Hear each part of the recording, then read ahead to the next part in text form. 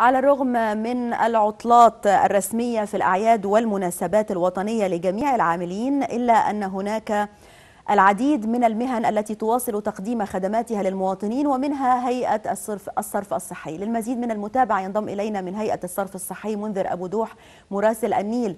آه منذر آه يعني انقل لنا الصورة لديك. نعم نعم. تحياتي إليك بداية ولكم أعزائي المشاهدين.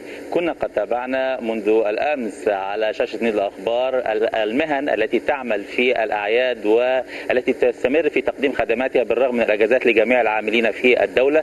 لكن هناك عدد من المهن تستمر في تقديم خدماتها والتي تعتبر خدماتها من مهمه للمواطن المصري ومنها هيئه شركه الصرف الصحي بالقاهرة والتي تستمر في تقديم خدماتها على مدار اليوم. هناك تفاصيل عديدة خاصة بخدمات في الأعياد وعلى مدار الأيام في حياة المواطن المصري. بجانب الآن المهندس عادل حسن رئيس شركة الصرف الصحي بالقاهرة الكبرى. برحب فيك برحب بيك يا فندم عشان تشمل الأخبار؟ أهلا بحضرتك يا فندم. كل سنة وأنت طيب. ونرى أن جميع العاملين ما زالوا مستمرين في عملهم داخل الهيئه داخل الشركة لتقديم خدماتها. ما هي خطتكم بالنسبة للطوارئ والتعامل في الأعياد الرسمية.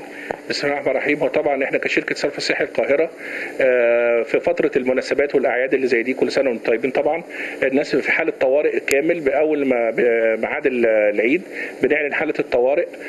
العمال والجميع السواقين والمهندسين والمشغلين المحطات بيتواجدوا في مواقع عملهم. وزي ما إحنا شايفين في ده أحد المواقع اللي بتتمركز فيه معدات التطهير متواجدين جميع العمال وجميع السواقين جاهزين للتعامل مع أي حدث طارئ يحصل. في على على مساحة القاهرة الكبرى إن شاء الله. بالنسبة للتعامل في عيد الأضحى وخاصه ان عيد الأضحى يشهد عمليات الذبح من قبل المواطنين للاضحيه في الشوارع والذي يؤثر على بعتقد كما اسلفتم الذكر على شبكات الصرف الصحي، كيف يكون تحركاتهم بالنسبة لهذا الوضع؟ والله هو ده موضوع مهم جدا والحقيقة في ناس بتعمل بعض السلوك سلبي إنها بترمي مخلفات الذبائح في شبكة الصرف م. وده بيسبب مشاكل كبيرة جدا عندنا في الشبكة م. فالحمد لله في حملة توعية تمت قبل العيد بفترة. فالناس الحمد لله السنة دي أنا شايف ما فيش الحالة دي اندثرت جدا وبقت في حالات نادرة.